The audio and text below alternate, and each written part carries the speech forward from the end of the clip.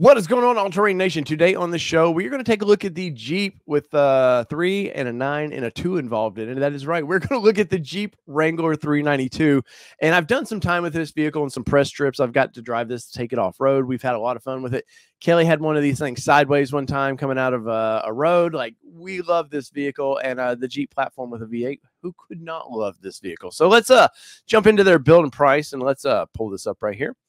As you can see, man, Jeep offers a uh, wide selection. I mean, they have a wide range of vehicles here. And uh, we'll go back up here. We'll start with the Sport, thirty-five thousand six hundred and ninety dollars. That's a uh, that's a lot of money for that, but uh, you're still, you know, getting not, you know, it's not the most you could spend because the most you could spend, we're going to come right down here to eighty-two thousand 495 and that is the uh the 392 so let's click that click the old build and price there.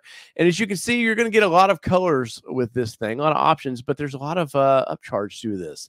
Uh jeep will give you one color if you want the white which a white jeep like that freaking looks great but let's go through the colors real quick. Let's go look at this uh you got a black there which uh you can see the bronze of the 392 outline looks really nice. Let's see we got a Sting-Gray Sting-Gray uh, nice dark gray color there. Next up, you got the silver. Then you've got the hydro blue pearl, which is this is the color I always see on press trips. You always see this this bright blue. It gets a lot of attention. One of my personal favorites is this uh the firecracker red here. That I love this color. And uh with a vehicle like this, you're going to want a lot of attention.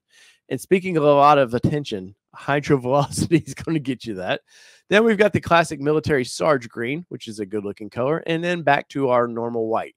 Now, out of this, there's two colors here that I like. I will say this right now: the uh, the firecracker red. I love this color a lot. When they debuted the the new uh, JL with this color, I loved it. I thought it was a hot color. And then you've got the um, high velocity clear coat.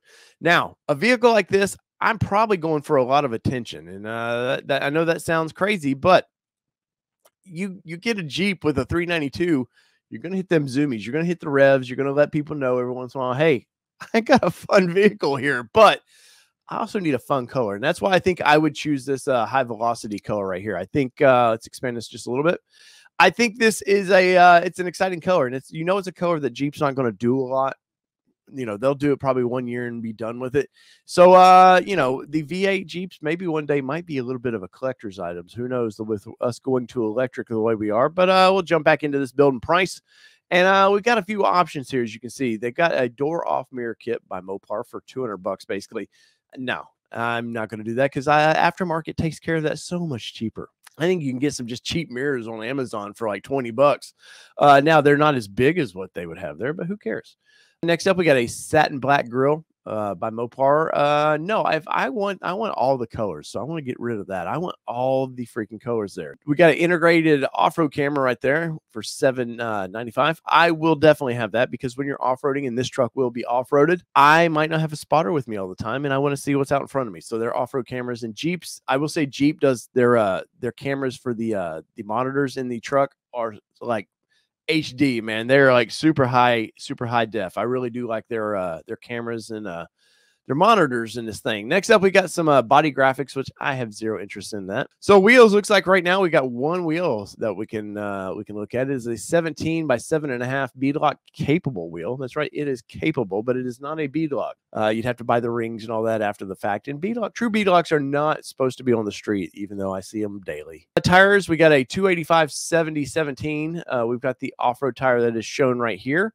Then we've got the mud terrain tire right there. And then we've got what they call an off-road tire right here, which is uh okay. So it just it looks like a normal BF Goodrich tire. I mean, they're I believe they're all BF Goodrich on all these. I believe the uh the off-road tire, I believe this is a KO2 tire, if I remember right. Don't hold me to that, but if I remember right. So uh, I'm going to leave tires alone for right now. They used to offer the recon package, and I don't think it's, I've, I've seen it on the build and price for 23 for some strange reason. Check into that. The 33 inch tires, I'm probably going to go right to the tire store and upgrade them anyways. So uh, no need to worry about that. The hinge gate reinforcement by Mopar. Let's go ahead and click that. I want to show you this. Move right there. As you can see right here. So if you plan on adding a heavier duty tire to your uh, Jeep, something past 33, I say get a hinge protector like this because it just helps bear the weight of that heavier tire. And uh, some of the older JKs definitely had some cracking of the uh, the metal around that stuff where those tires were just a little too heavy for them. So I definitely say uh, go ahead and do that. And it's you know 675 you get it from the factory that way just go ahead and do it it's well worth it now they have a dual top where you get the soft top and the hard top once again no not messing with any of that they've got the uh for $2050 you got the sky one touch power top which is a soft top on the top of it that will slide back and uh it's not bad but if i'm taking the tops off i want the tops off. Now with the interior colors you get one option black but it's going to have all this cool the uh, bronze stitching everywhere all the steering wheels and everything. Looks great. Um you're getting a big radio. The jeep if you've been in one jeep i hate to say it you've kind of been in them all so if you've been in a normal rubicon this all looks very familiar to you and uh, if you've been just basically in a normal jeep the steering everything about them is pretty basic basically the same thing it's the one thing i have on jeep i don't feel like they've taken the upper trims and made them unique enough. I don't think stitching. Sure, you get all the features. You're getting the lockers and all that. The the sway bar disconnect, but I just don't feel like it's enough. I mean, this is a beautiful vehicle. Don't get me wrong, but I I Jeep for eighty two thousand dollars. I really feel like we should make the three ninety two and you know even the higher trims just a little little different. But let's see what we got. We're going to get the uh, Uconnect 4 with a 8.4 inch touchscreen display. Very Uconnect is very nice. Uh, I have no complaints about that.